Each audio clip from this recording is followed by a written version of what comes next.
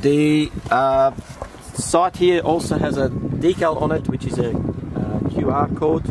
If you got an app on your phone, you can uh, scan that code, and then automatically your mobile phone will take you to the 30 website from Sulky, and you can uh, get all your uh, settings there for your machine. The machine is also made what I would call idiot proof.